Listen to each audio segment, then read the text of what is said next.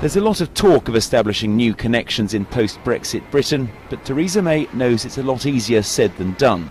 A decision on where to build more airport capacity has been delayed for 25 years because of the potential political fallout. The new Prime Minister has said she'll decide once and for all later this month. Having only a very, very slim majority in Parliament, uh, this is a real political hot potato, even if it tends to support the domestic economy in the short term. Already Britain's and Europe's busiest airport, Heathrow is the favoured choice of business leaders by virtue of its links to emerging markets. But a third runway there could cost up to £18 billion.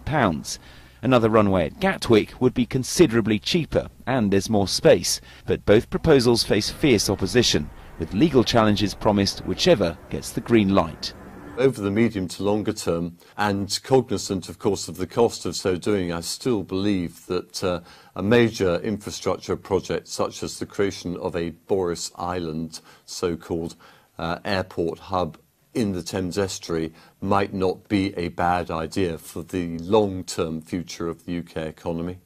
Named after the now Foreign Secretary Boris Johnson, that project was dismissed as being too expensive.